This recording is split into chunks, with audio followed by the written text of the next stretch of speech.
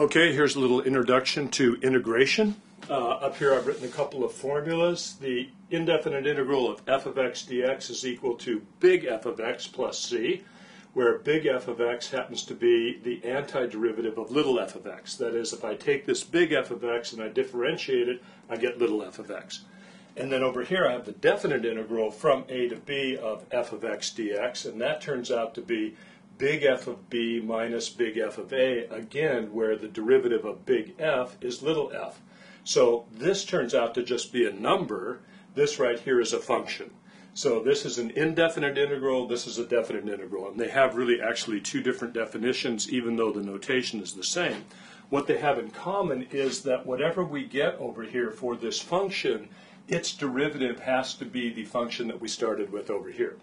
So now what about integration? Well, we only have a couple of formulas to start with. The integral of x to the n dx is going to be x to the n plus 1 over n plus 1 plus c.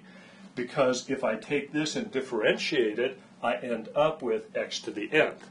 So I put the c on here so that I get all functions that are the antiderivative of this thing right here. So let's see how this works in real life. The indefinite integral of x to the third dx, well, that just says write down all the antiderivatives of this function x to the third. So that's going to be x to the fourth over 4 plus c. So there is the indefinite integral of x to the third dx. and what you want to notice is that this x and this x have to match exactly for us to use this formula right here.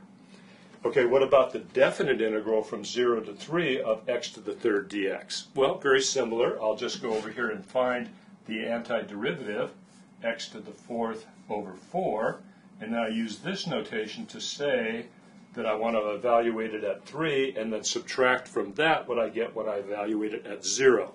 So that's going to be 3 to the fourth divided by 4 minus 0 to the fourth divided by 4. Okay, and 3 to the fourth is going to be 81 divided by 4. This is going to be 0, so I end up with 81 over 4. So you can see in actual practice when I do this, when I have a definite integral, I end up with just a number. When I have an indefinite integral like this, I end up with a function, or a group of function, a family of functions like this. All right, let's take a look at a couple more problems.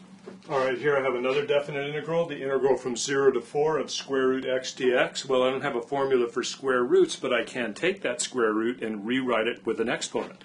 So I'm going to change this then to the integral from 0 to 4 of x to the 1 half dx.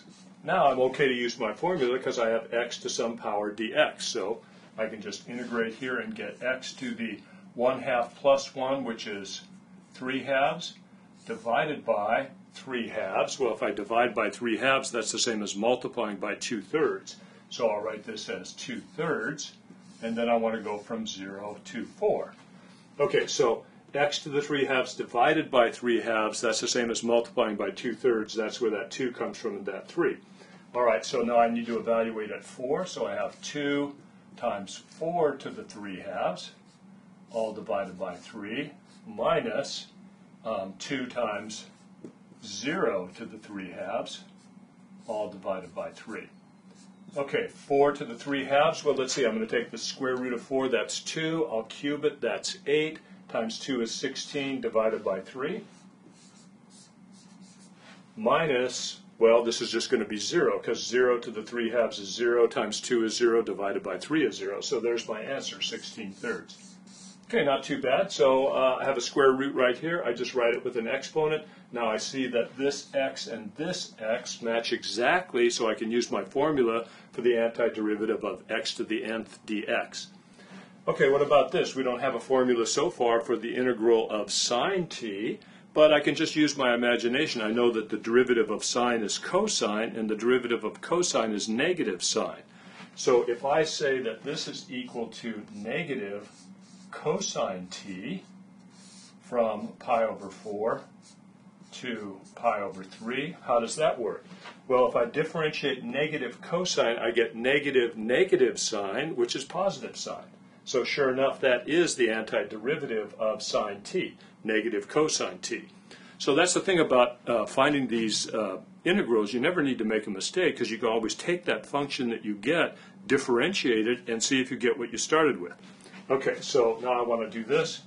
So this is negative cosine of pi over 3 minus negative cosine, so plus cosine pi over 4. I have to write it like that.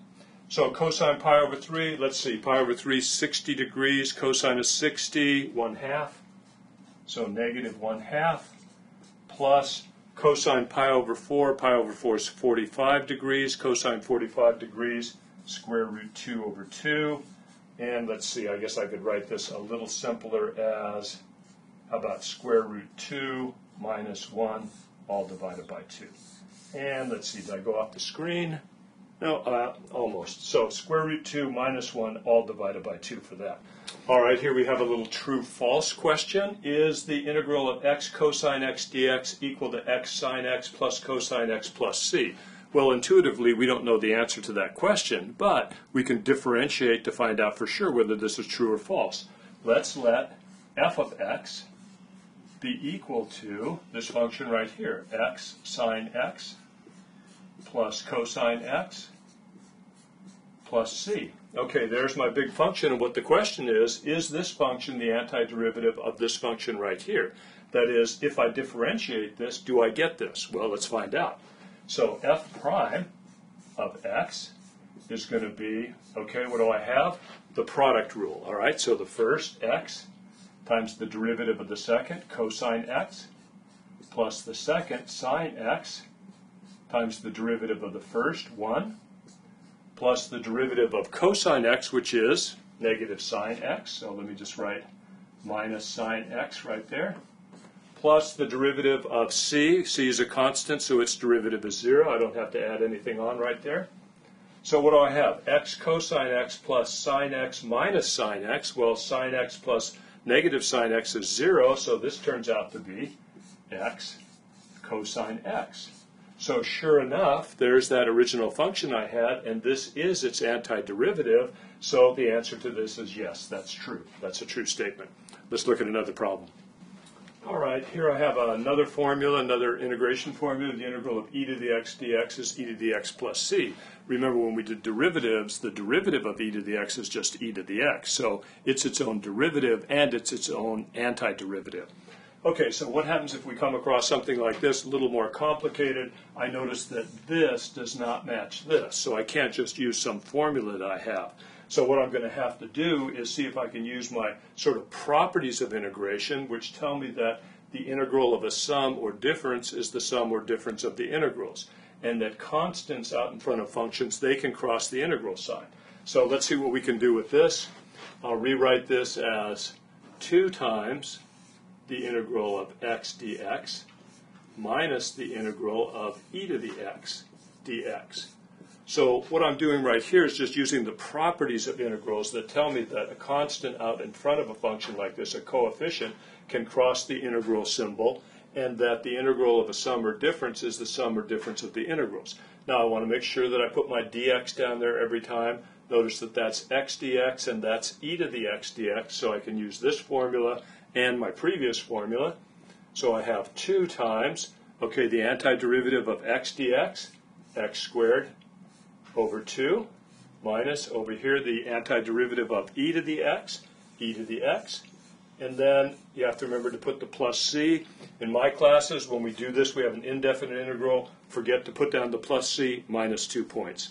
So um, any, in any case here, those 2's divide out, and I get x squared minus e to the x plus c for the indefinite integral of this thing right here. So that's a little introductory look at integrals, some of the simple integral formulas, and just kind of getting used to the relationship between indefinite integrals and definite integrals.